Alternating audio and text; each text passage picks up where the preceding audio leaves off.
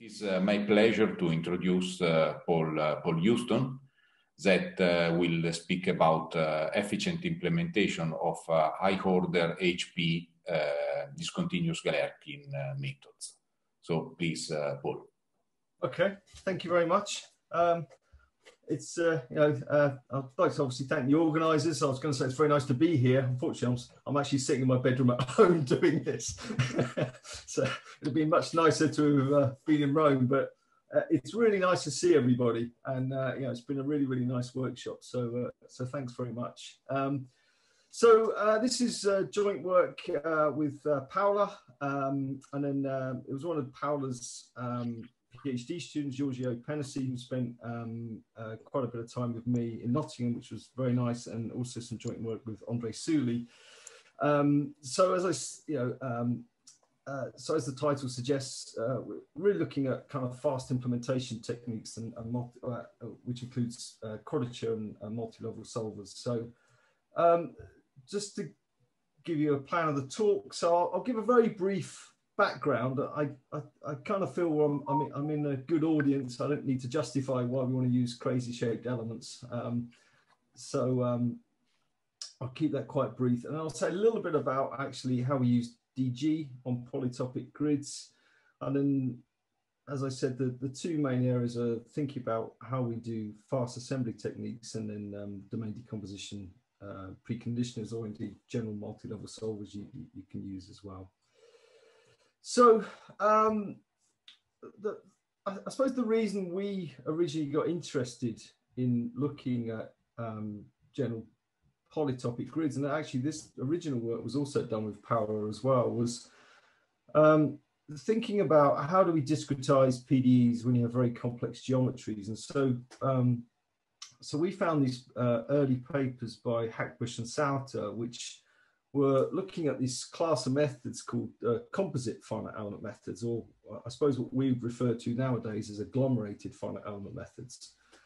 Um, and, and, really the key observation was that if we have a very complex geometry, and so I've, you know, I've, I've picked a couple of uh, examples that we're interested in looking at. So one's ice accretion and uh, another project we have is looking at flows through placenta, and I'll show a few other examples in just a moment, is that if we if we're if we're bound to use um, standard element shapes, then then we have this issue that kind of the, the minimum dimension of our finite element space is proportional to how complex our geometry is. And so the idea in Hackbusch and Sauter was, was, I suppose, relatively simple, that you, you imagine that you, you do have a fine grid, uh, which does exactly represent the geometry, uh, perhaps up to some approximation, but, but keeps um, a good representation of the complexity. And then the idea is really what we would now term to agglomerate the elements, so to so to glue elements together. So they refer to this as a composite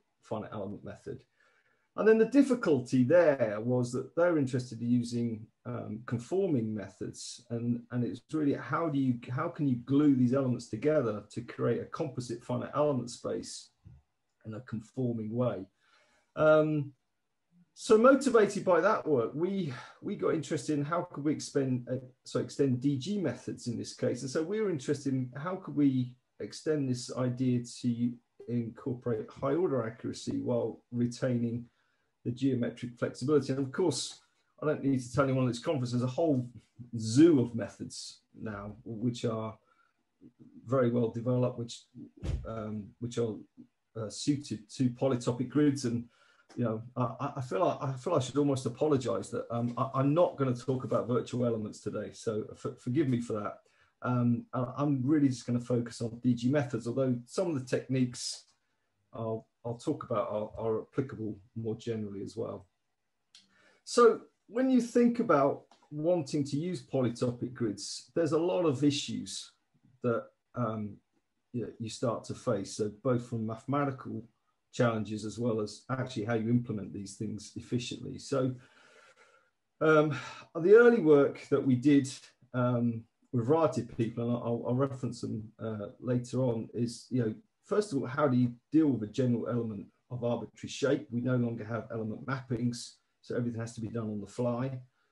Um, but then there are issues around actually what's the geometry look like of these elements. So you, you can easily have uh, degenerating lower dimensional facets. So, you know, very small edges, very small faces, and, and indeed under mesh refinement, you can potentially have an unbounded number of edges and faces. And so while this might be okay in some settings, particularly in the DG framework where we have some form of stabilization, then dealing with these small faces or small edges can be really problematic in the scheme. And so you have to be quite careful in the analysis uh, of how you deal with that. But what I, as I said before, what I want to focus on is actually more now how we actually implement these methods. So uh, how do we do quadrature and how can we use these techniques to develop efficient linear solvers? So um, I'm really just want to focus on the DG framework.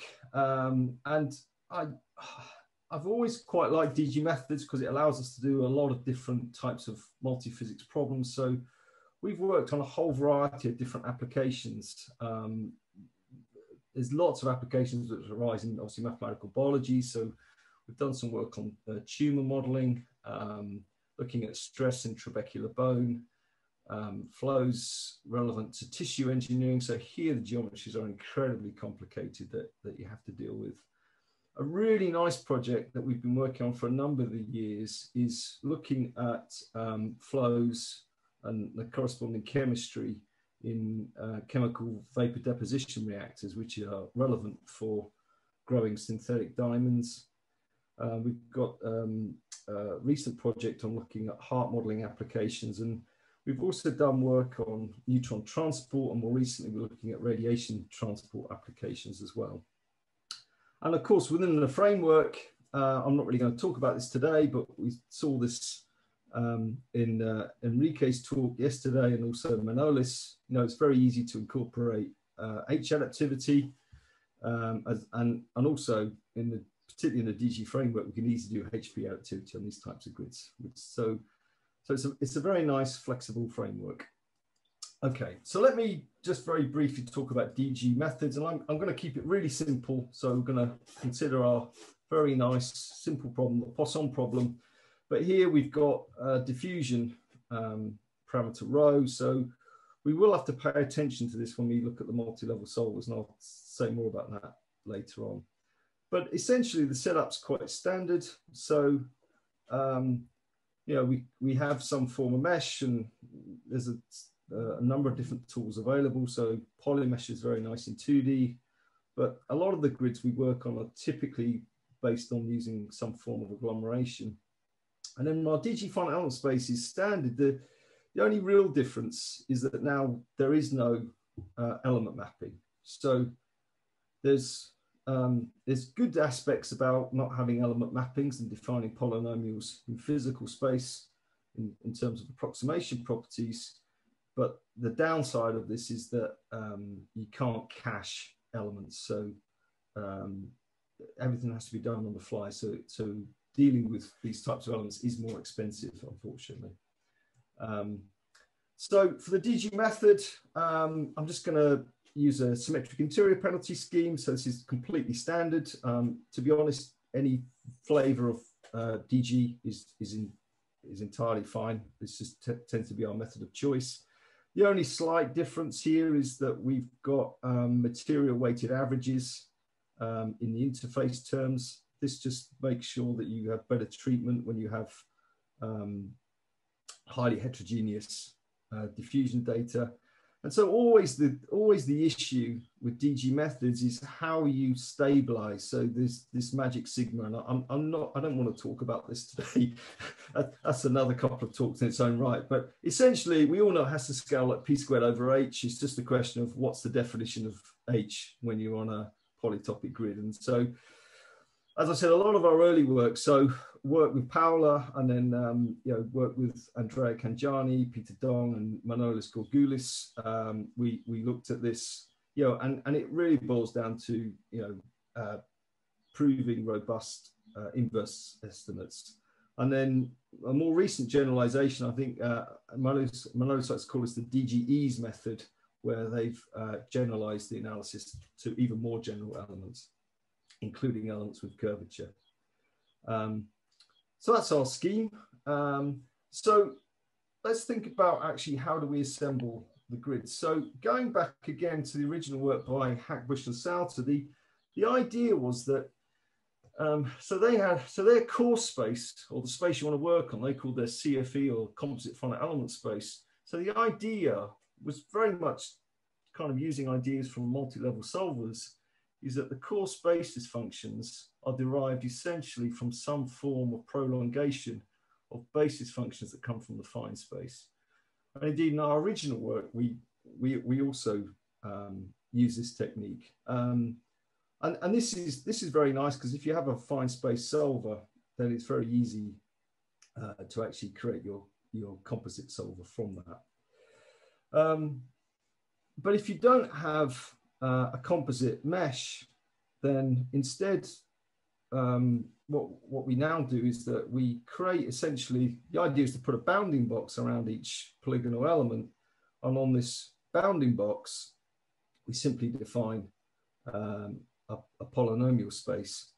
Um, so we use tensor product Legendre polynomials, which are mapped from a reference element uh, or reference bounding box. Alternatively, you can use some form of Gram-Schmidt orthogonalization on, on the element itself and actually just use an orthogonal basis. Um, so that's our basis. So what's nice about using um, unmapped approximations is that the order of approximation is independent of the element shape. Um, and also uh, calculating derivatives becomes almost trivial. So if you've ever tried to work out, um, the, so second derivatives, for example, when you have mapped elements, when you have curvature, is, is actually really difficult to compute. Whereas when, you, when you're in this framework, it's really, really simple. But as I said before, the, the downside of this is the computational overhead. So everything has to be done on the fly because nothing can be cached. So, um, so one of the key bottlenecks in the assembly is obviously numerical integration. So I suppose that the most common approach is to use some form of element tessellation. Um, so this you can compute um, for each element, or if you've or if you've done agglomeration, you've essentially got it for free. The problem with this is it tends to be quite expensive. Obviously, it depends on how many elements you have in the subtessellation. So there is some recent work by uh, Peter Dong, Manolis, and um, I think it was one of Manolis' students, Kappas, where they've used GPU acceleration techniques to actually improve the performance when you use subtessellation. Alternatively, you can try to think about um, coming up with optimal quadratures in the sense of minimizing the number of points you need on a polygon uh, in order to integrate the space of uh, functions you need to integrate. So this is uh, an idea that comes from moment quadratures. But the idea I'd like to talk about is this idea which um, Sukumar talked about on Monday, is this idea about um, exploiting uh, integration of homogeneous functions. So as I said, Sukumar's already spoken about it, so I, I, won't go into this in great detail, but I, I have to say this is really, really simple, but but um, really powerful, uh, and uh, it's really, really nice actually. So I, I, I, would like to spend a, a, little bit of time talking about this, and then I'll say actually how we implement this with, with our DG method and the kind of performance gains you can get.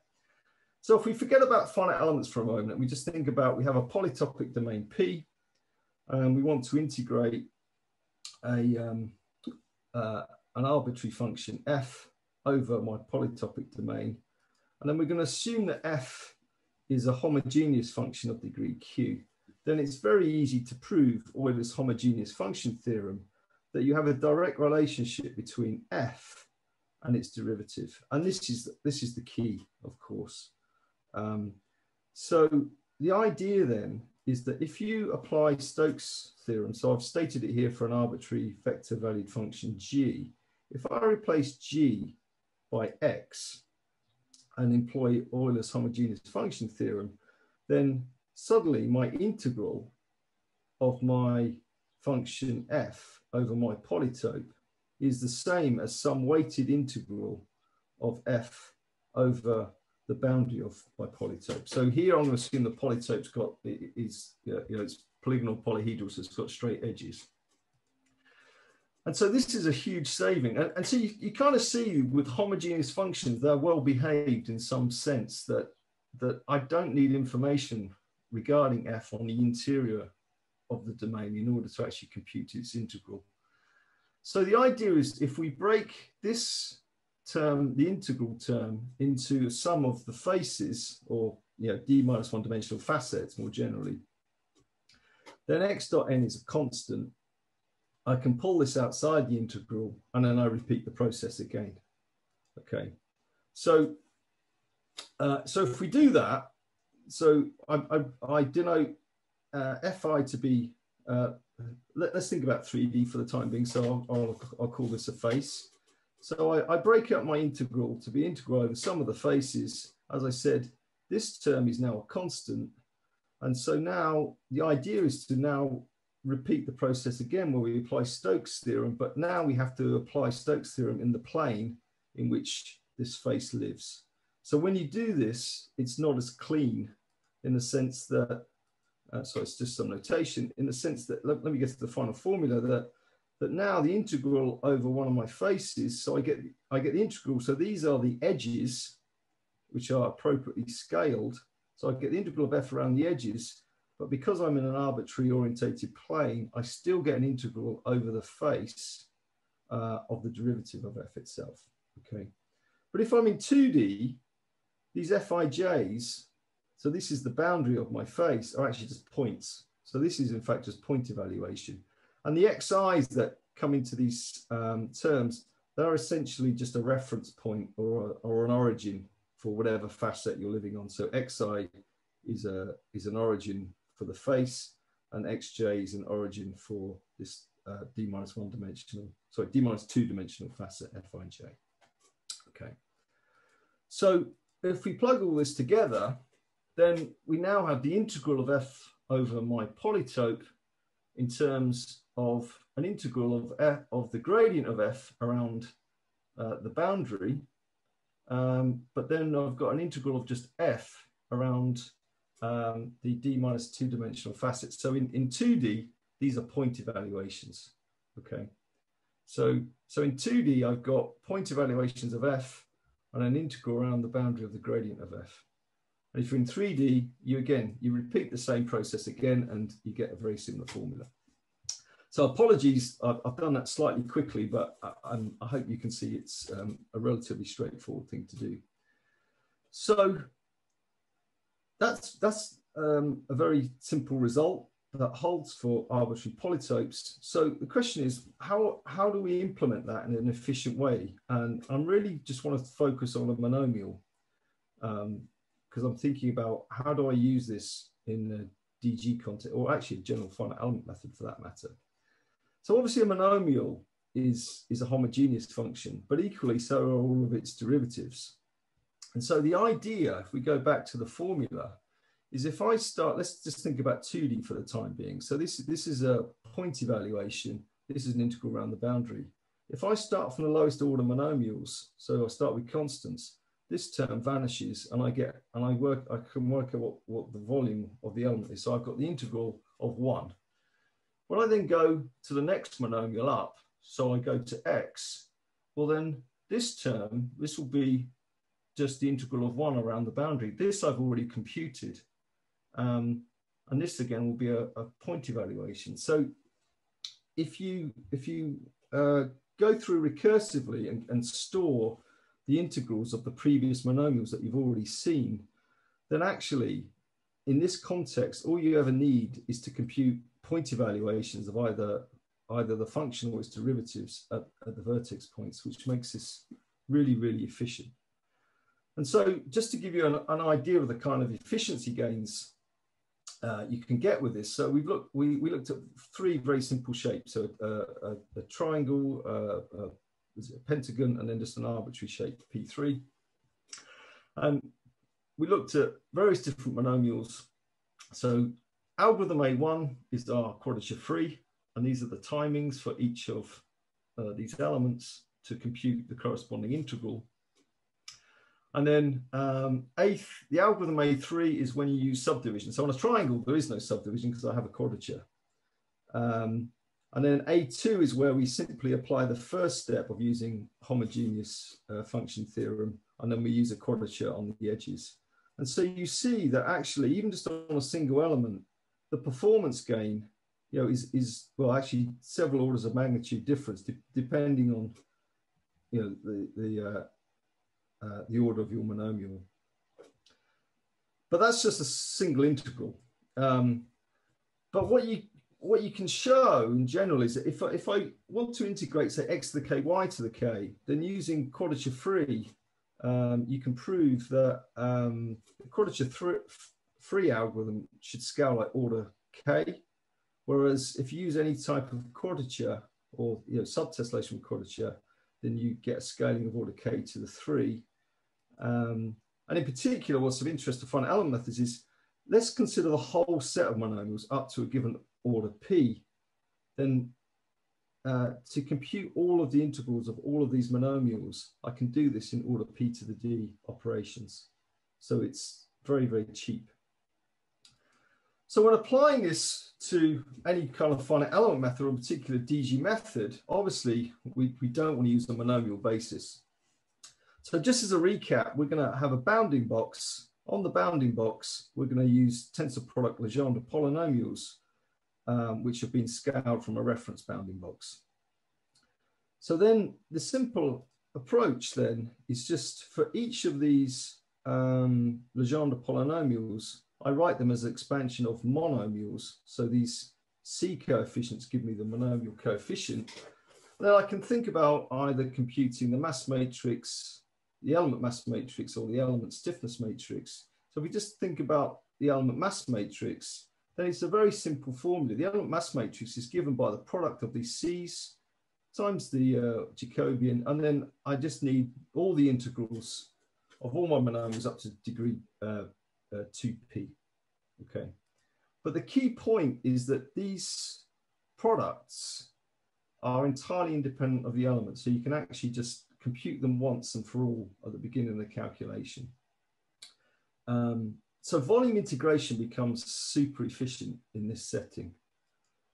Faces is a different matter. So uh, uh, when you when you want to integrate over faces, you, have got two different types of contributions. The first type is where you're always on the same element. So if I think of an arbitrary face, I've got my kappa plus on one side and kappa minus on the other, then you can use exactly the same techniques to compute the face matrices involving the plus plus terms or the minus minus in exactly the same way.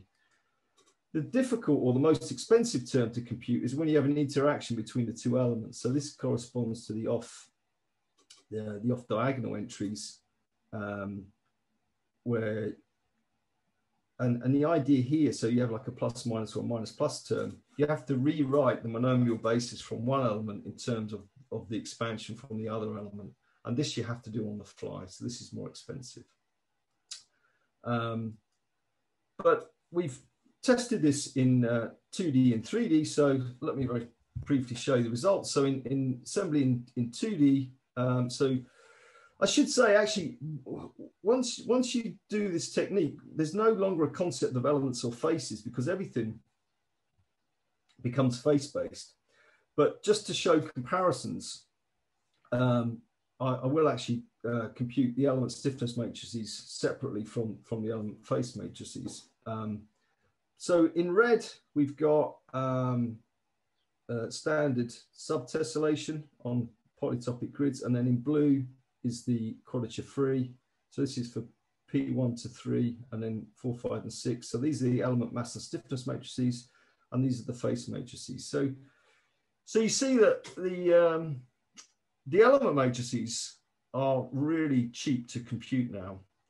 The face matrices, because of this re-expansion that you have to do online calculations, while you still see a saving, the saving is, is only, well, in 2D it's about a factor two.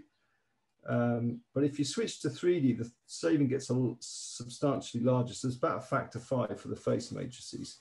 But these now become the more expensive part of the calculation as opposed to even in 3D, the volume uh, integrals are, are incredibly cheap.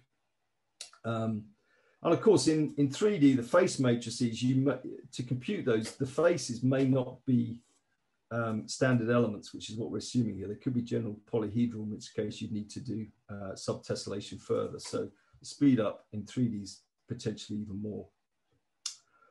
Okay, so that's quadrature free. Um, so that's how we assemble the matrices. So now let me briefly go into domain decomposition. So, um, so even if you're not interested in polytopic grids, um, you may still want to run your solver with standard element shapes. By having the ability to use polytopic grids means that implementing multi-level solvers um, is really, really simple. And so there's a vast amount of literature that's been done on uh, DG methods in both H version, HP version for domain decomposition and multi-level, multi-grid solvers. Indeed, Paola has done an awful, lot of work in this area. Um, so here are some references, and I apologize, this is probably not complete. Um, so just to recall our original problem, um, we can show that if you um, um if you have an orthogonal basis, then then um, the condition number of our underlying matrix scales like p to the 4 over h squared. So in the following slides on the right hand side in red, I'm going to write the algebraic rep representation of the operators, which personally I always find much easier. So so I'm just going to look at domain decomposition for this. And what we want to do is we, we want to um, develop a solver which is scalable both with respect to the fine mesh size h, the fine polynomial degree p, and I'd like to also be robust with respect to the diffusion coefficient if, if possible. So, so the setup is slightly non-standard, but um, should be um, fairly recognizable. So the idea of domain decomposition, so we have our fine grid TH, which are the black uh, polygons here. And then we've got two other partitions. So the blue uh, mesh, um, this is boldface H, sorry, blackboard uh, uh, H is, um, uh, is our subdomain partition, which is where we're going to apply local solvers. So these are generally constructed based on agglomerating elements from your fine grid. And then you have a coarse grid, um, which you, you can construct in many different ways. You can first of all construct uh, based on agglomeration of your existing elements, say from the um, subdomain partition. So this would be the nested approach, which is what we've got on the left. Or you could think about agglomerating elements as well as doing agglomeration of edges or edge coarsening which gives you a non-nested coarse grid. Um, so what's slightly different here is that we are, as you can see from the pictures, we're going to allow the subdomain partition to be um, a lot uh, finer than the coarse, the coarse grid. So we need to keep track of the mesh size of these subdomains. And in fact, what we're particularly interested in is this massively parallel setting where actually the subdomain partition you just set equal to the, um, the fine grid. Um, now, the reason for wanting to do that is these local solvers you have to apply on these blue elements become really trivial. And in fact, um, you can simply compute the inverse of the matrix and store it. So, so the application is, is, very, is very, very cheap. Um, so now um, for the domain decomposition, this is completely standard. So um, we first of all, for the local solvers, we define our local finite element spaces on each of these subdomains, um, which is just the restriction of our fine finite element space onto these uh, subdomains. Um, and then the local solver or local matrix problem is solved, so it is constructed simply by applying um, the standard prolongation operator, which is just for DG, just a straightforward injection operator, which takes you from the local space to the fine space. So here, you're essentially applying um, a restriction operator to your large matrix, and then you have a prolongation operator. Okay, so this is very simple uh, to implement. So this is an exact solver. And then the coarse solver is constructed similarly. So we have our, our coarse space, um, and again, the coarse matrix is constructed based on restriction of the fine matrix onto the coarse space. in the, in the same way. So again, this is the algebraic representation. So the key thing here is our prolongation operator now, in order to account for uh, both nested and non-nested coarse grids, we use an L2 projection operator to go from coarse space to fine space. Okay. And then it's and then we simply define the Schwarz operators in the usual way. So we have these uh, operators, these PIs, which which you can prove are projection operators, and then you can either construct an additive Schwarz precondition, which is all we're going to look at, or you can think about some multiplicative or hybrid type Schwarz operator. And so the algebraic representation of this is quite straightforward. So we have essentially you have our matrix applied, uh, which is being pre-multiplied by a preconditioner and the preconditioner is simply restrict, solve, prolongate. And you do this on the coarse grid as well as all of these local subspaces. So this is completely standard. So I suppose th this is, I think, the most general result we now have, which combines or generalizes uh, results we've proved in the past under various different assumptions. So um, here, uh, one, one thing to know is we, we're not assuming now um, that the domain is convex, which is a standard assumption. So instead, we've moved the convexity condition to the coarse elements. So we're going to assume the coarse elements are convex. This turns out to not be necessary in practice. But then you can show the condition number in the nested case of your additive Schwarz preconditioner scales in this form. So you have uh, the ratio of the maximum of your diffusion parameter divided by the minimum on each of these coarse elements. So in particular, if, if, if, your, uh, if your rho is piecewise constant on the grid and is um, exactly represented, so if it's constant on each coarse element, then in fact, the preconditioner, irrespective of whether you have high contrast, is completely independent of, of the diffusion.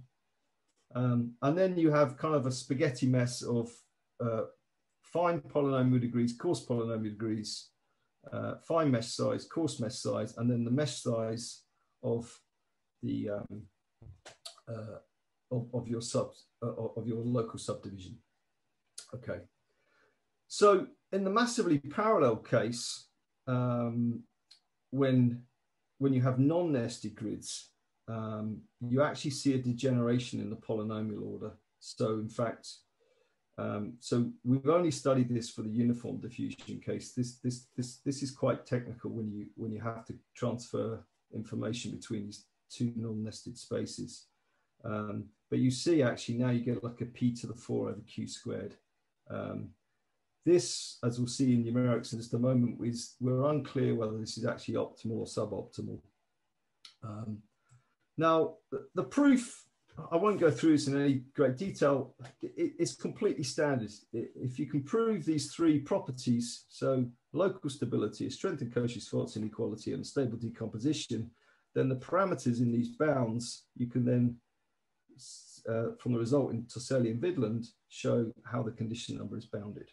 So the question is how, you know, is simply to go, go, go back and verify these properties hold. So property one is simple um, because we've used exact solvers. So in fact, we have equality with alpha is one.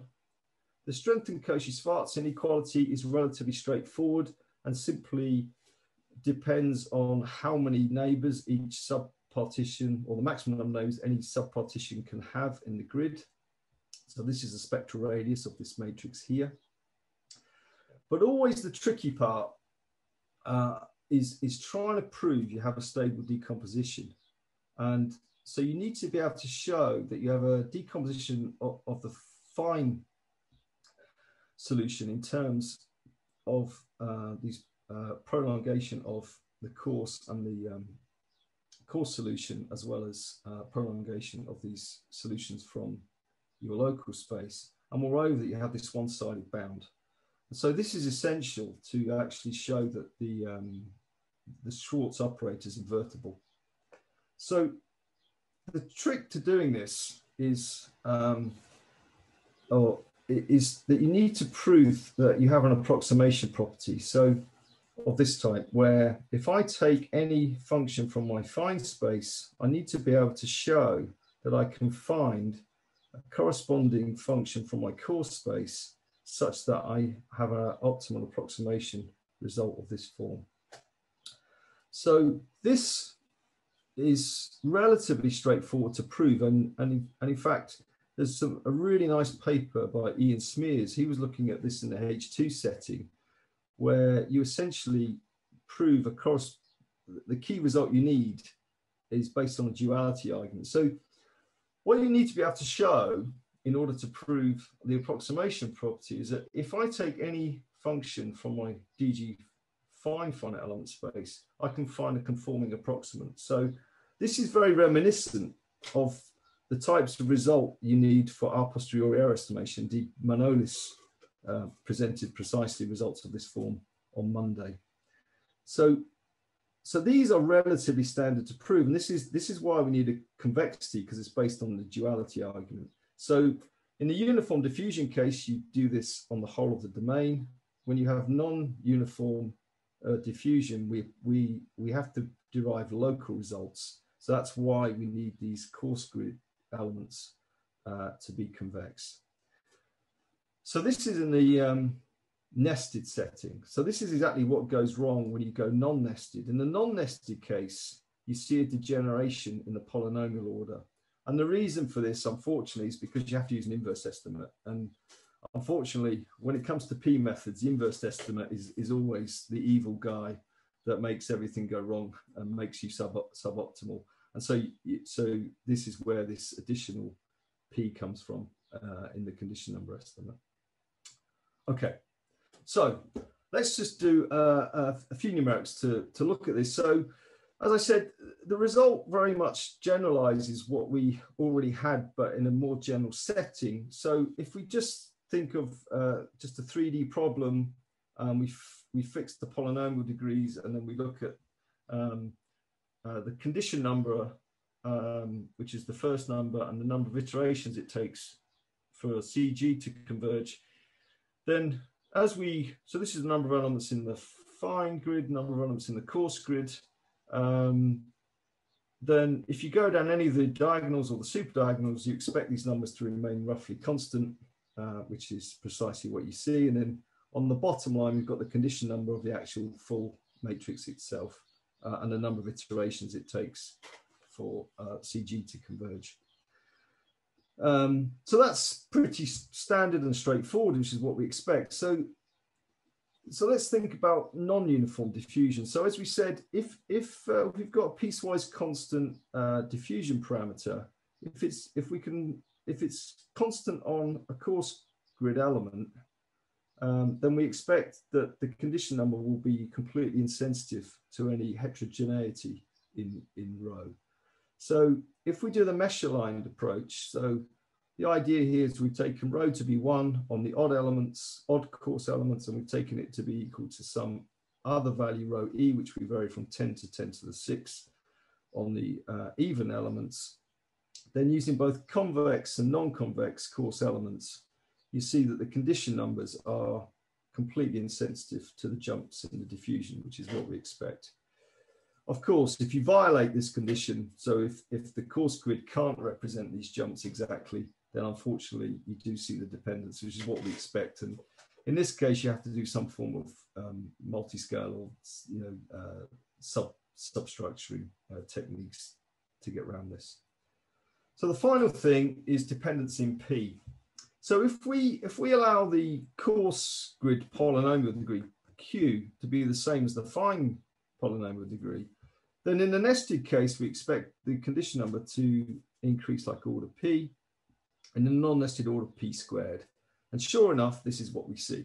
So these are these lines are for different grids uh, in the nested setting, and so you can see this is roughly of order P.